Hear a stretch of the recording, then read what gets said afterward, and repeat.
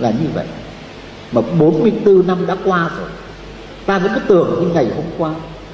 Sau tang lễ bác, sau tang lễ bác, một công việc cực kỳ quan trọng đặt ra. Bây giờ bảo quản bác như thế nào?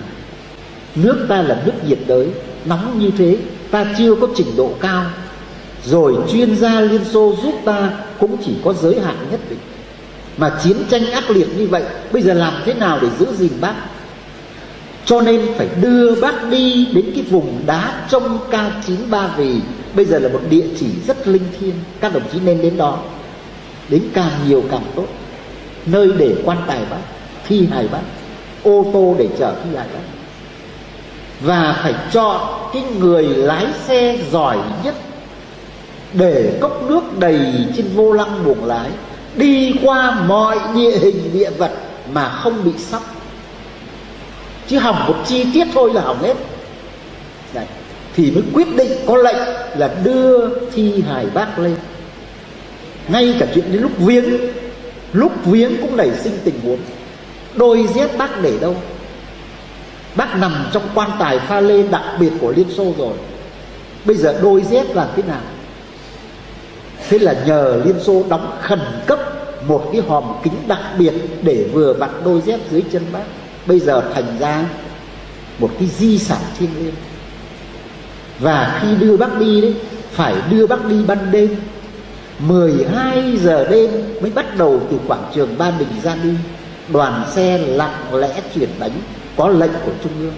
Bộ chính trị và trung ương đúng hai hàng dạt rào trong nước mắt để tiễn bác đi về đá trông cao chí mà đi phải đi rất chậm đi trong đêm khuya để dân tình không nao núng và cũng để bảo vệ an toàn cho bác trong chiến tranh. Có ngờ đâu, vừa đưa bác đến đợt nơi thì lập tức có điện đưa bác về. Đưa bác về ngay để tìm phương án khác. Tại sao các đồng chí? Vì mỹ, nó sẽ tập kích để nó đánh tháo toàn bộ cái phi công mỹ bị ta bắt ra mà ta đã chuyển phi công mỹ đi chỗ khác rồi.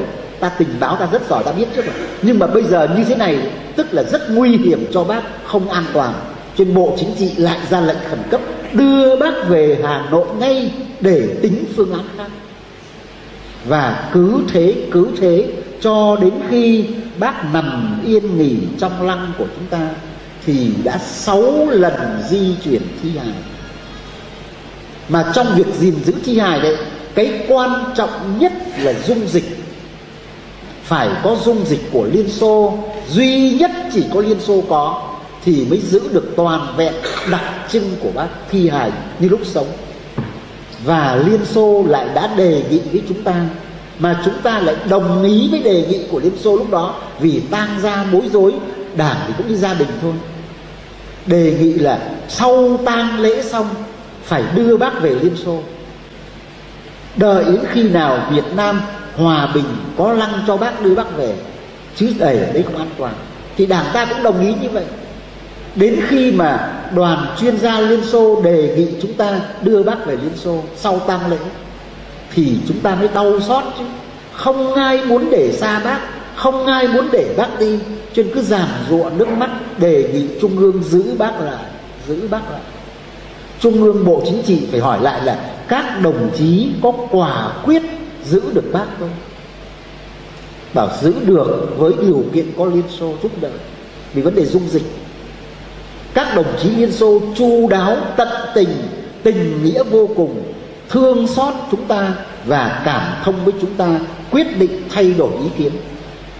Và báo về ngay với trung ương của liên xô để chấp nhận cái đề nghị của việt nam là bay một chuyến bay khẩn cấp về liên xô để mang một lượng dung dịch khổng lồ ra, để bảo quản bác cho đến khi có lăng.